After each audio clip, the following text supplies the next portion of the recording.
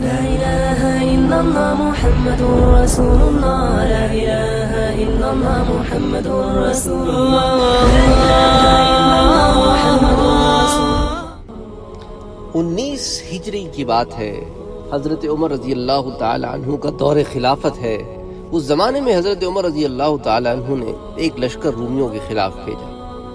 وہ لشکر رومیوں سے لڑا اور لڑتے لڑتے قید ہو گیا۔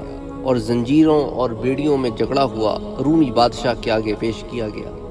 انہیں بتایا گیا کہ ان میں ایک ایسا آدمی بھی ہے جو صحابی رسول صلی اللہ علیہ وآلہ وسلم ہے اور اس کا نام ہے عبداللہ بن حذافہ رضی اللہ عنہ۔ تو بادشاہ نے کہا، انہیں میرے سامنے پیش کیا جائے۔ جب پیش کیا گیا تو بادشاہ نے اپنے تخت سے نیچے اتر کر اور عبداللہ ابن حذافہ کی طرف وہ بڑھا تاکہ ان کے اوپر ایک طریقے سے روب اور دبدبہ بھی آئے۔ اور دوسری طرف دنیا کی طرف کھچاؤ بھی آئے کہ بادشاہ وقت میرے پاس آ رہا ہے تو ان کے نفس سے کھیلنا چاہتا تھا۔ بادشاہ جو ہے، جب ان کے قریب آیا تو اس نے عبداللہ بن حذافہ سے کہا کہ بھئی دیکھو عبداللہ بن حذافہ، اگر تو تم نصرانیت قبول کر لو، تو میں تمہیں اپنی بادشاہی اور سلطنت میں شریک کر لوں۔ اب جس بادشاہ کا ذکر ہو رہا ہے، یہ روم کا بادشاہ نہیں ہوا چھوٹے چھوٹے بہت سارے بادشاہ ہوا کرتے تھے جن کا ذکر ہم سیرت النبی میں کر چکے ہیں۔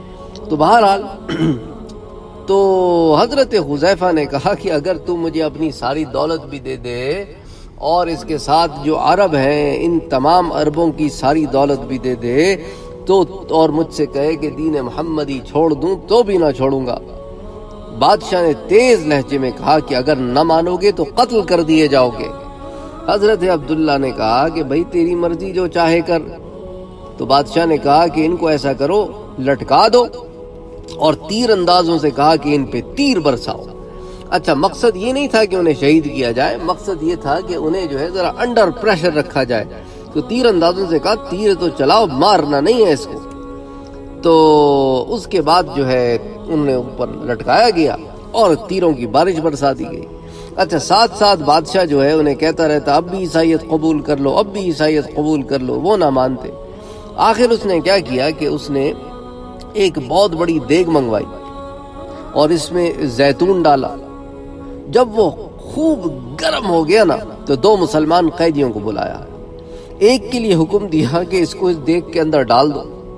اس دیگ میں وہ تڑپتا رہا، حتیٰ کہ اس کا گوشت گل گیا اور ہڈیاں نظر آنے لگی بادشاہ اس کے ساتھ ساتھ عبداللہ بن حذافہ پر نصرانیت پیش کرتا رہا۔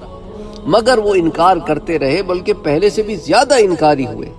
پھر بادشاہ نے کہا اچھا ایسا کرو، اس عبداللہ ابن حذافہ کو پکڑ کے دیگ میں ڈال دو۔ تو جب انہیں دیگ میں لے کے جایا گیا، کہ لیگ میں ڈالنے، دیگ میں ڈالنے کے لیے لے کے جا رہے تھے، تو اس وقت وہ رونا شروع ہو گئے۔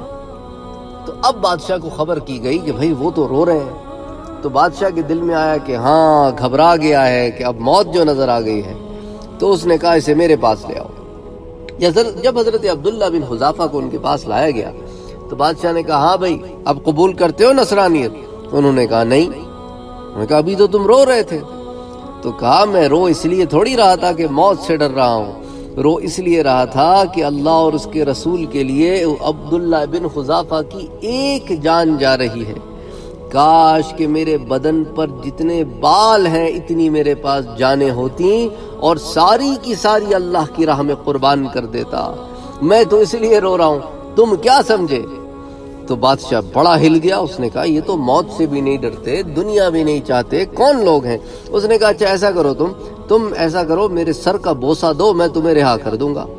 عبداللہ بن حضافہ نے کہا، نہیں نہیں میں تمہارے سر کا بوسا تو دینے کے لیے تیار ہوں، مگر سارے مسلمانوں کو رہا کرو، صرف مجھ اکیلے کو نہیں۔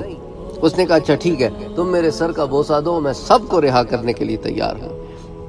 تو انہوں نے کہا، ٹھیک ہے۔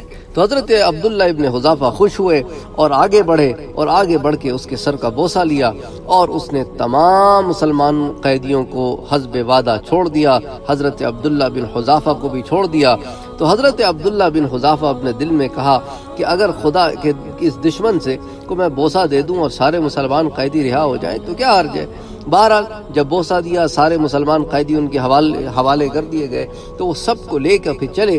حضرت عمر رضی اللہ تعالیٰ عنہ کا دور خلافت تھا، مدینہ پہنچے اور حضرت عمر رضی اللہ تعالیٰ عنہ کو سارا واقعہ سنایا۔ تو حضرت عمر رضی اللہ تعالیٰ عنہ کا چہرہ خوشی سے چمکنے لگا اور سینہ کھل گیا۔ پکار کر فرمایا، ہر مسلمان پر یہ لازم ہے کہ وہ عبداللہ بن حضافہ رضی اللہ تعالیٰ عنہ کے سر کو بوسا دے اور آغاز میں کرتا ہوں۔ چنانچہ حضرت عمر رضی اللہ تعالیٰ عنہ اٹھے، تھوڑے سے جھکے اور عبداللہ بن حضافہ رضی اللہ تعالیٰ عنہ کے سر کو بوسا دیا۔ سبحان اللہ سبحان اللہ سبحان اللہ۔ ہو تو طاقت ایمان اس طرح کی ہو۔ ایسے ہی تھوڑی انہیں صحابی رسول کہتے ہیں۔ ان لوگوں کے ایمان اللہ اکبر اللہ اکبر۔ اس واقعے کو کنز العمال میں روایت کیا گیا ہے، جلد نمبر تیرہ۔